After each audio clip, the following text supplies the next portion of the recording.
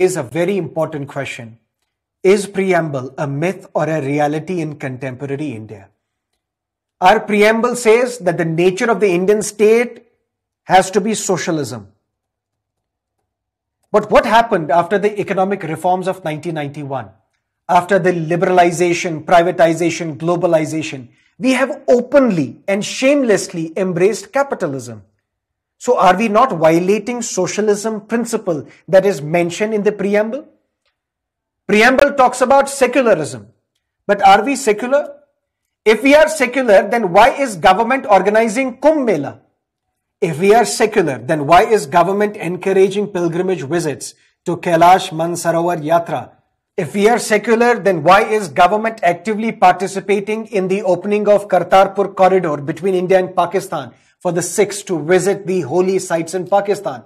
If the objective of the Indian constitution is social justice, then why is it that the members of the Dalit community are attacked and flogged in different parts of the country? If the objective of the Indian constitution is fraternity, then why is it that we are still divided on the basis of our caste, religion, language, region? Why is it that there is a north-south divide, east-west divide in this country? If the objective of the Indian constitution is liberty of thought and expression, then why is it that if some use their freedom of speech and expression and ask legitimate questions to the government that they are labeled as anti-national? Why is it that movies are getting banned, books are getting banned, theaters are getting banned?